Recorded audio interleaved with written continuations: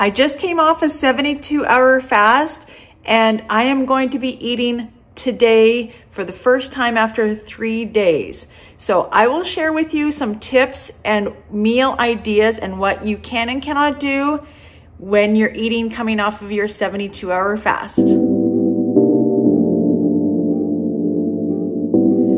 Morning, everyone. Welcome back to my channel. It's Janet, and if you're new here, make sure you hit that red subscribe button. Give this video a like to let me know that you're liking my content, and make sure that you're hitting that notification bell so YouTube can let you know when I upload a new video. And if you're a returning subscriber, then welcome back to my channel. Good morning, you guys. I am starting off my day after fasting with my coffee. I'm having my normal coffee here. I made it the same way as I do all the time. I will link a video here on how I make my coffee, but it was delicious today, I'm telling you.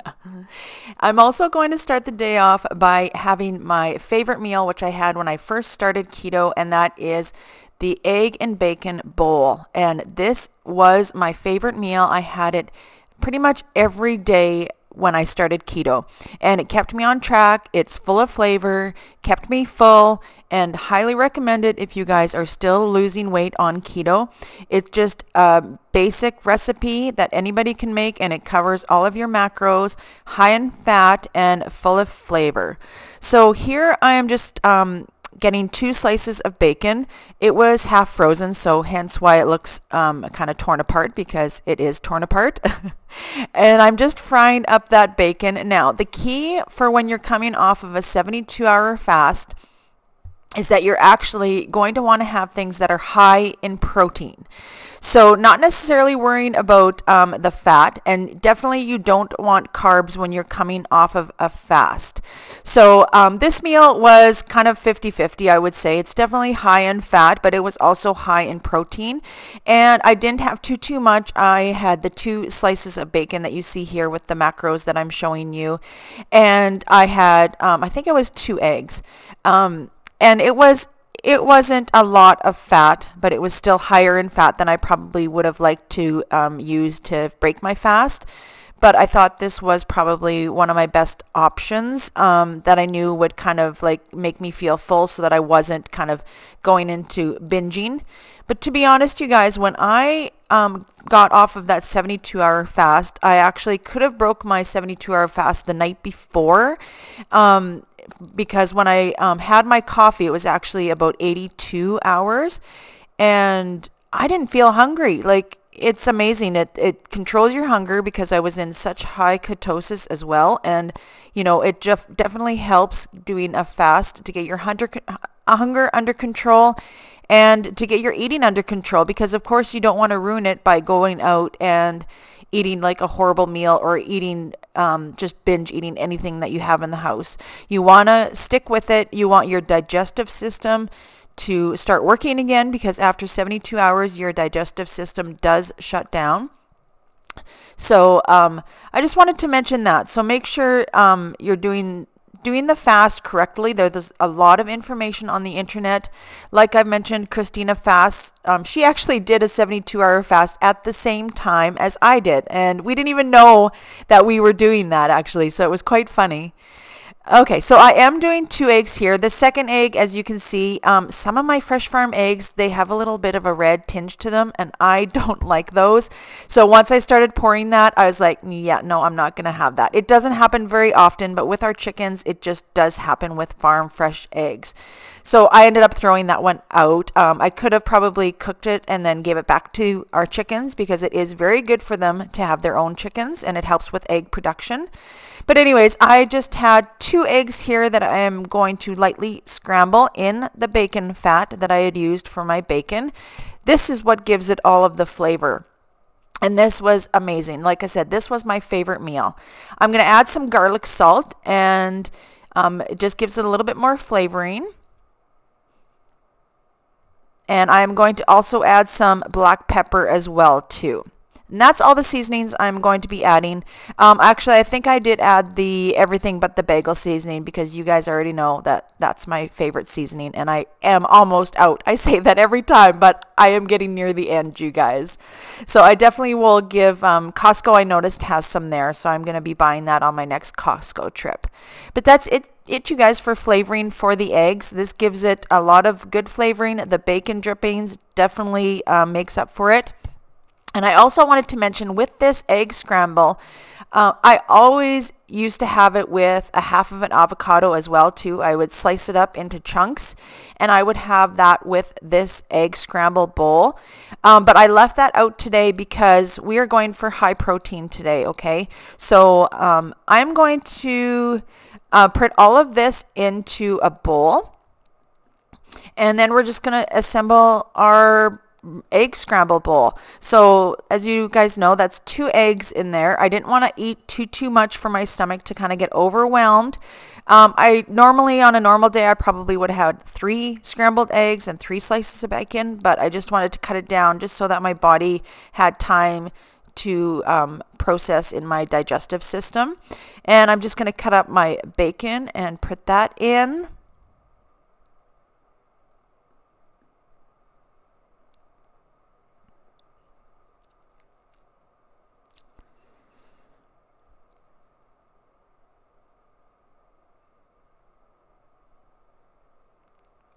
Also, if you guys wanted to, you probably could add some um, fried or steamed vegetables.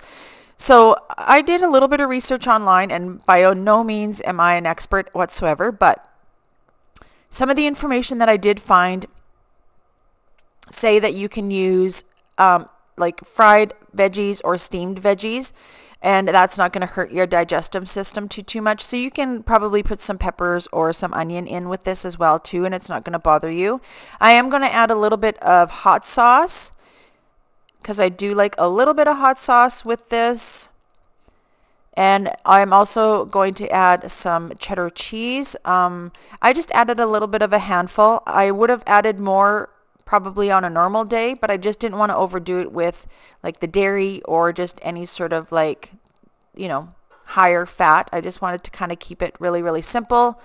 So I'm going to add the shredded cheese there.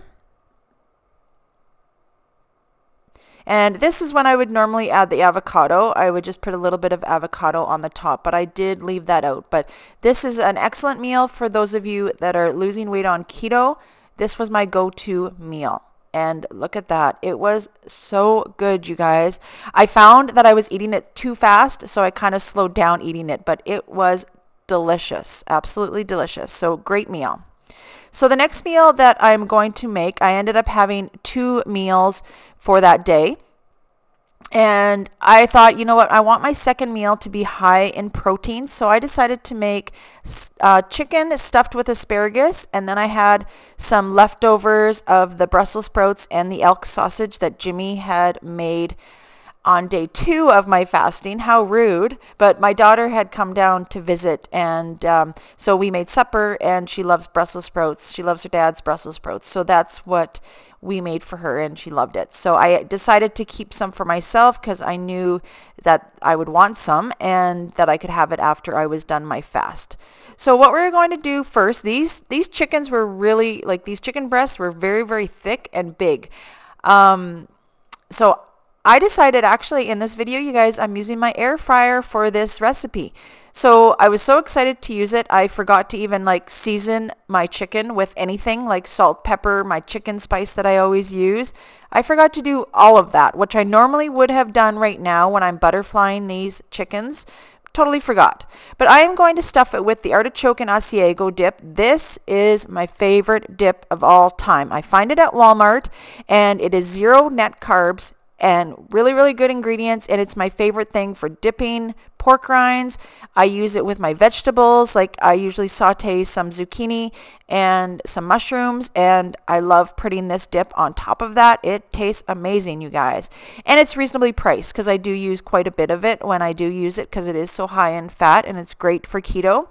But I'm just going to put those on both sides of my chicken.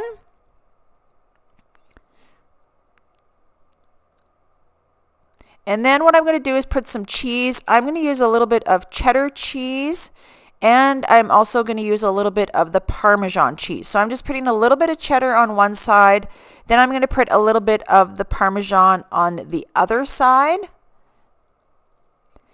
And then after that, I'm actually going to stuff it with a few asparagus. So I'd clean my asparagus, as you can see on the left-hand side, and I'm going to put, it was about three stems, and I just put it in there, in the chicken, three or four, and then I just stuff it. And I didn't have any toothpick, toothpicks, but since these were so big, they actually closed on their themselves and they stayed fine when they were closed on themselves. And that is it, you guys. Like I said, I forgot to use seasonings. That was my bad. I would have definitely used more seasonings on it, but you know what? It still turned out pretty, pretty good. I don't think we got enough time to sort out all the fights, yeah. to sort out all the lies. Oh, baby, yeah. Oh, no. There was a part of me that knew that, and still I'm caught by surprise. Oh. I thought you'd always be mine. Oh, yeah. I guess our dreams fell asleep. There's no passion in the comatose. Baby, going down, down, down, down, down. Baby, going down, down, down, down, down. Tried so hard to stay Yeah, we keep moving like the river goes. Baby, going down, down, down, down, down. Yeah. And I thought, it's time I'm letting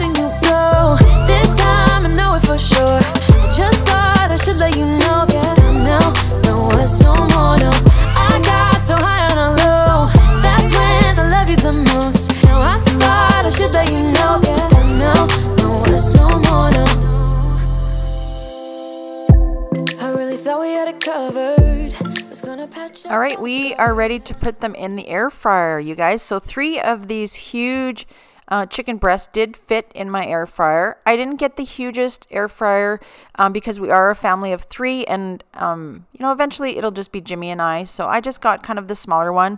I will insert um, or actually, you know what? I have the link down below and that will give you the size information. I got it off of Amazon. You can get the exact same one that I have linked down below if you look further in the description.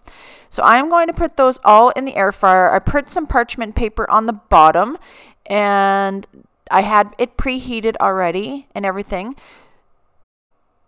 So we are going to put that in our air fryer at 360 for 16 minutes. But I need your guys' help here for air fryers because, sorry, 350 for 16 minutes. But the chicken wasn't done. Like I, one piece was done because it was the thinnest piece, the one on the left. I do check my chicken all the time with a thermometer. Highly recommend you guys are doing that. But the two other ones on the right weren't. They were very thick, like I said. They were big pieces of chicken. But how do you guys figure out the timing and the temperature for your meals that you're cooking in the air fryer? So with this air fryer, I did get the information booklet that came with it. And it gives me kind of an overview, but obviously all chicken and steak is going to be a different thickness, different size. How do you guys determine what you're going to cook it at and for how long? If you can please let me know in the comments if there's any easy way to figure that out, maybe by weight, or if there's some sort of diagram or um, somewhere to look that you can figure out what to cook it at because I think that's my problem because I'm not, this was the first time using it. Um, but, you know, obviously I don't want to be checking it and then turning it back on and everything like that, right? So that's just the problem that I, I had with this scenario of um, making these. So I did put it back in for another six minutes. Um, even the one on the left wasn't cooked at this time, but the second time around, this time here is when I actually take it out and then I let the others two cook. I believe it was for an additional like another eight minutes. And then after that, it was finally um, reached its temperature of 185. But if you guys can help me, that would be wonderful. Um, I know like my other air fryer, I think all we cooked in it was probably like chicken wings and some bacon and just standard stuff. But I want to start using this a lot. So if there's any sort of tips that you guys can give me, make sure you comment down below. I love hearing from you guys anyways, down in the comments. I always respond to every single comment. So please let me know down below. All right, so that one on the left was done, and that is the one I ended up taking out and using for my meal because I was hungry. so the family had to wait for their others uh, another 10 minutes. So as you can see, I warmed up the uh, elk sausage and Brussels sprouts on the side. I warmed that up in the microwave and I'm just going to add my piece of chicken as well too to this meal and that is all that I'm having.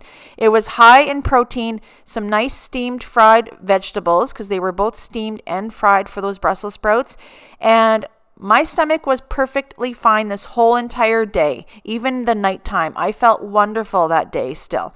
So that just goes to show you guys on what you can eat when you're coming off of uh, an extended fast and make sure that you're doing things high in lean protein, you guys. And this is the final product, and it was absolutely delicious. I just wish I put more seasonings on my chicken. That's the end of the video, you guys. Thank you so much for watching my video, and I hope it gives you some ideas for you coming off an extended fast. If anybody has done a long extended fast, let me know down below. I love hearing your comments, and I wanna know if you guys even had tried fasting other than intermittent fasting. Like I said before, I was doing um, an alternate day fasting in order to get to my goal, and it had a lot of benefits. And I think I might implement like a 24 hour fast once a month because it is very good for your body, even though that I am close to my goal weight. But I think it's just good for overall health and definitely your digestive system. And you guys know I have trouble with my digestive system, with my IBS, my irritable bowel syndrome, and I feel like it just definitely helps with everything once you get everything to process and your food digests fully and gives it that 24 hour reset. But definitely the longer fast, the better. I don't suggest that you start off with a 72 hour fast. Um, if you're doing intermittent fasting, that's great. I would start with a 24 hour fast though. So let me know down below if you're interested in doing that. If you like these sort of fasting videos, I would love to hear from you guys. So thank you so much for watching. Make sure you hit that red subscribe button. Give this video a like to let me know that you're liking my content and make sure that you're hitting that notification bell so that YouTube can notify you when I upload a new video. Thanks for watching.